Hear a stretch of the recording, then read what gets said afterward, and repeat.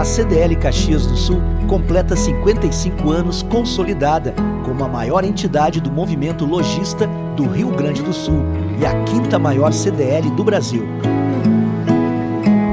Fundada em 14 de dezembro de 1965 como clube de dirigentes lojistas para criar um serviço de proteção ao crédito, logo passou também a estimular o setor econômico e a capacitar profissionais, impulsionando a economia.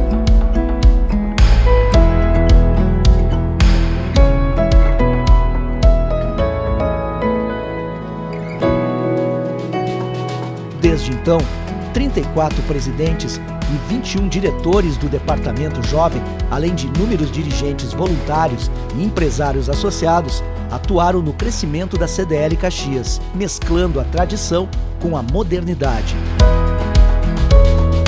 Além do SPC Brasil, a entidade disponibiliza muitos outros benefícios, como planos de saúde e telefonia, cobrança, certificado digital, banco de currículos e o CDL Qualifica, que promove palestras e workshops.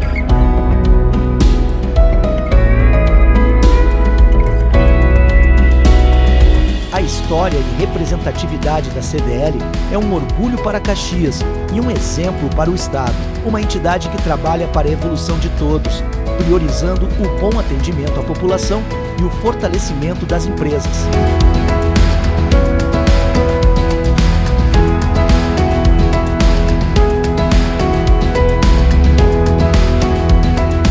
CDL Caxias, 55 anos de trajetória ligada ao desenvolvimento econômico e social.